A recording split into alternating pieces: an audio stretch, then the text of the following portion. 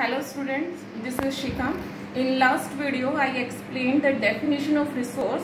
Today I am going to tell you about the types of resource.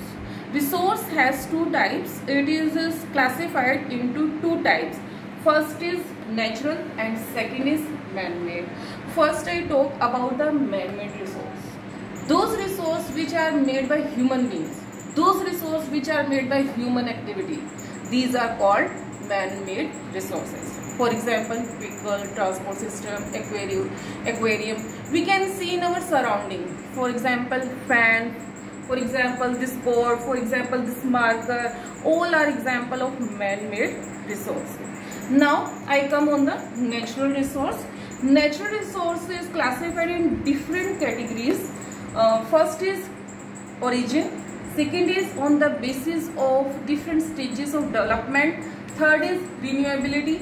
Fourth is availability. And fifth is exhaustibility. If i talk about the on the basis of uh, origin it is classified into two types biotic and abiotic. Biotic means living things. For example those resources which are related to living things. Example forest. Example animals microorganisms all are related to biotic resources. Second is abiotic. Abiotic means non-living things.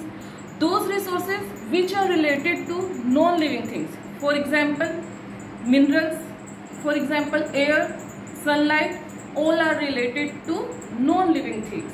So students, today I explained types of resources and different categories of natural resources and different types of origin.